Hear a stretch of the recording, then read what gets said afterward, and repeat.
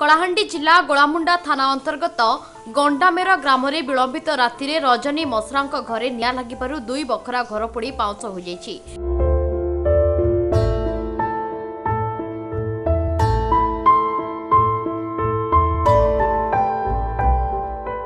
ଏତେ ବଡ଼ ଘଟଣା ଘଟିଲା ହେଲେ ପରିବାର ଲୋକେ ଜାଣିପାରିଲେନି ଯେତେବେଳେ ମୋଟରସାଇକେଲ ଗାଡ଼ିର ଟାୟାର ନିଆଁରେ ପୋଡ଼ିଯାଇ ଫାଟି ଯାଇଥିବାରୁ ତାହାର ଶବ୍ଦ ଶୁଣି ପରିବାର ଲୋକେ ଭୟରେ ଉଠିପଡ଼ି ଦେଖିଲା ବେଳକୁ ତାଙ୍କ ଘର ସମ୍ପୂର୍ଣ୍ଣ ଜଳିଯାଉଛି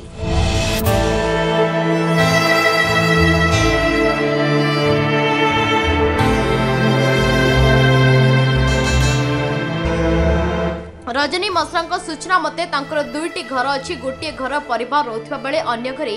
ଯାବତୀୟ ସାମଗ୍ରୀ ରହୁଥିବା କହିଛନ୍ତି ନିଆଁ କେମିତି ଲାଗିଲା କାରଣ ଅସ୍ପଷ୍ଟ ଏନେଇ ପରିବାର ପକ୍ଷରୁ କୌଣସି ପ୍ରତିକ୍ରିୟା ରଖିନଥିଲେ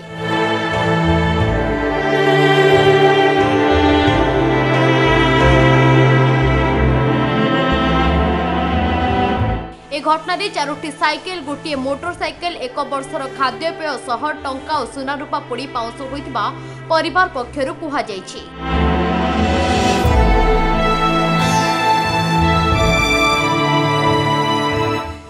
ପରିବାରଙ୍କ କହିବା ଅନୁଯାୟୀ ଦଶ ଲକ୍ଷ ଟଙ୍କାର କ୍ଷୟକ୍ଷତି ହୋଇଛି ବୋଲି ପ୍ରକାଶ କରିଛନ୍ତି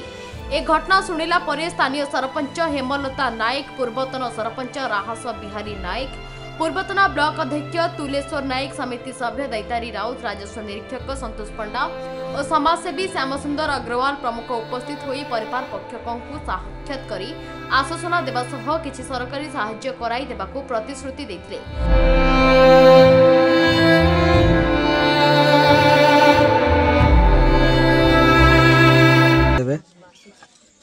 अनातुलेश्वर नायक गोडामेर गाँ के जेने आपचे काण समस्या है आज्ञा आज गंडामेर रजनी मसरा घर गत रात जली जा सका खबर पाइली तो क्षण समस्त सहित जोजोग करी आज निजे घर को देखार लगी आई ଆସିକରି ଦେଖୁଛେ ଗୋଟିଏ ମୋଟର ସାଇକେଲ ଚାରିଟା ସାଇକେଲ ତାଙ୍କର ଆସବାବପତ୍ର ଅଠର ଗୋଟି ହଂସ ଏବଂ ତାଙ୍କର ଚଳିବା ପାଇଁ ଯେଉଁ ଚାଉଳ ଧାନ ମାଣ୍ଡିଆ ବିଭିନ୍ନ ପ୍ରକାର ଦରକାରୀ ଜିନିଷ ସମ୍ପୂର୍ଣ୍ଣ ପୋଡ଼ି ନଷ୍ଟ ହୋଇଯାଇଛି ବହୁତ ଦୁଃଖର ବିଷୟ ଆଉ ଏ ବିଷୟକୁ ଆମେ ଚେଷ୍ଟା କର୍ମୁ ପ୍ରଶାସନ ପାଖରେ ପହଞ୍ଚାଇବାର ଲାଗି এবং আশা কর্ম প্রশাসন ସେହି ନିରୀହ ରଜନୀ ମସରାଙ୍କୁ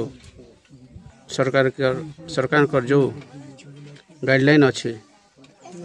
ତାଙ୍କୁ ଆର୍ଥିକ ସହଯୋଗ କରିବାର ଲାଗି ଆମେ ପ୍ରଶାସନ ପାଖରେ ଦାବି କରିବୁ